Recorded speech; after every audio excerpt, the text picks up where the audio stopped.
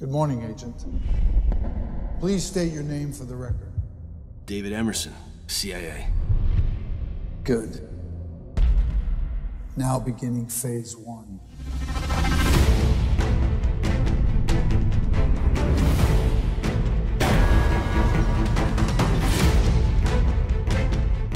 Kill her.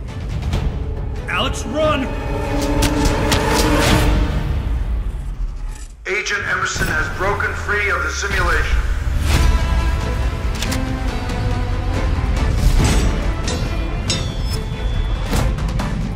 David, listen to me. He's just in your head.